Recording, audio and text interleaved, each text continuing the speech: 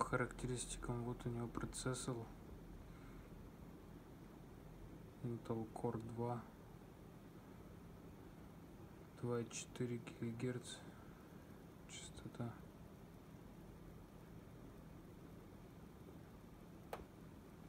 Видеокарта NVIDIA GTX 650 Ti на 1 гигабайт. Жесткий диск на 500 гигабайт.